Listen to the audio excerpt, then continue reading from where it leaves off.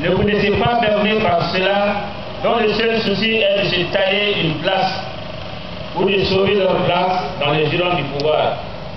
Depuis l'avènement de la Constitution de 1992 à nos jours, cela fait la troisième tentative de révision.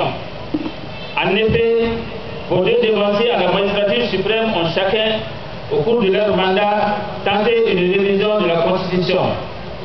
Mais nous nous rappelons que vous étiez l'un des opposants farouches à cette idée compte tenu du caractère du contenu. Alors, Son Excellence, nous vous prions de penser à ces antécédents et d'écouter la voix du peuple afin d'éviter au Mali la situation de certains pays frères.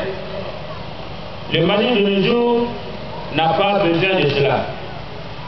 Au-delà de l'organisation des référendums, nous, vous prions de sursoir purement et simplement à cette opération de révision constitutionnelle. Et pour clore mon propos, Son Excellence, je vous cite cette maxime qui dit ceci. Si les tiens ne te disent pas la vérité, alors paye tes ennemis pour qu'ils te le disent.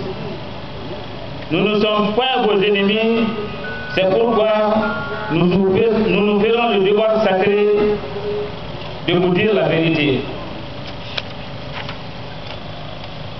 Tout en espérant que ces quelques mots auront un écho favorable pour le bonheur du Mali, nous vous prions de bien vouloir agréer l'expression de notre haute considération et de notre profond respect. Vive le Mali dans la paix et la quiétude. Sikasso le 1er juillet 2017, le président Eladia Ouattara, je vous remercie.